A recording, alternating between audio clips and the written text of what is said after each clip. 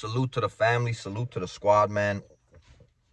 I really thought about making this uh to make this video or not, man. I go I went ahead and decided, you know what, bro, I'm gonna go ahead and make this video.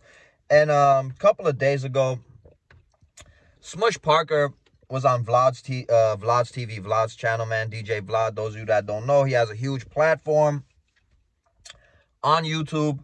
Has a bunch of rappers that go on, celebrities, man. A lot of uh, controversial topics. And I get it, Vlad, you know. I get how you make your money, bro. And I'm not over here hating on you, bro. You know, you got to get it how you could get it. And um, that's what works for you, bro. But um, I got to really disagree with this one, man, because at the end of the day, you know, you had Smush Parker on your channel. And everybody and their mom knows the only reason you really called Smush Parker to your channel because Smush Parker doesn't have much relevancy today, you know, when it comes to a lot of people, man. I mean, um, hell, bro, a lot of people don't even remember Smush Parker even exists anymore until he goes on these platforms and smuts up a man's name, tries to smut up a man's name because he can't. Long live the legend Kobe Bryant. Long live the Mamba. You know, um, you call this man onto your channel just to talk recklessly about Kobe Bean Bryant, man. A man that is no longer with us, man. A man that is a legend, an icon, a GOAT in the sport of basketball. And even though, um, and not even though I'm saying even outside of the court, bro, he is a legend on the streets of LA. And you call this man onto your platform to talk recklessly about Kobe, and you guys are just sitting there laughing and joking about it. You know, like this man is alive to even defend himself. I mean, bro, like that, that that's just not a good look, bro. You got to do better than that, man. And and Smush Parker, you should already just stop it, bro. It's corny and cheesy at this point, man. I mean, granted, you did say it when the man was alive. I can't take that away from you. But at this point, let this man rest. And Vlad, you have a huge platform with a lot of people that are willing to come onto your platform. You just called this man onto your platform to try to smut up a man's name that's not even here to defend himself, bro. Bro, it's corny as hell. And not to mention, you know, Smush, you say all this stuff about Kobe Bryant.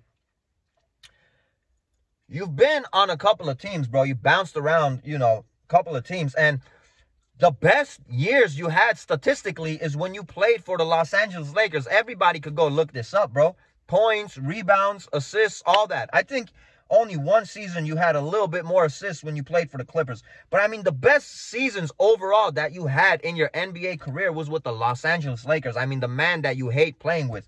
You know, you say this man never talked with you. You said this man treated you so bad which is also a lie because in the games, you know, I, I have I've seen this man, bro. I've seen games where this man is talking to you. I've seen games where this man's giving you props. I've seen games where this man is laughing with you, you know, dapping you up, hugging you and all that, bro. There's pictures out there on the internet, you know. Whatever issue that you had with this man, I mean, this dude, we all know Kobe Bryant, man. He was different, bro. He meant all business when he went in there. I don't know if you thought that he was gonna play patty cake, patty cake with you, or I didn't know if you guys were gonna, gonna go, you know, be buddy waddy, have like some tea and stuff. I don't know your personality, bro, or what you were expecting from this man.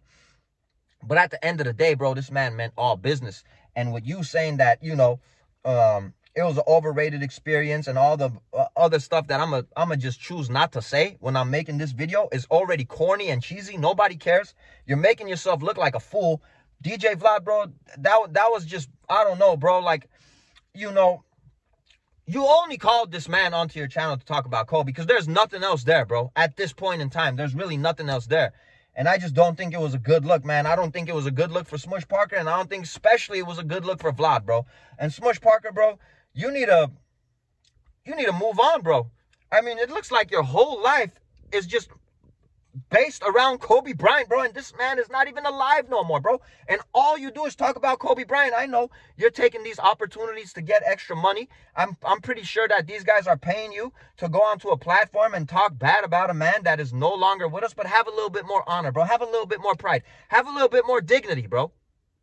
Have a little bit more respect, man. At this point, this is getting corny, man. And Smush Parker, you're making yourself look like a fool, bro. I'm going to go ahead and say bro. You're making yourself look like a fool, bro. Like I said, you know, everything you're saying, bro, I'm not saying that it's not true to a certain extent. Maybe with your experience, because there's a lot of people that love Kobe Bryant as a teammate. Maybe with your experience, But I do feel like it's a little bit exaggerated.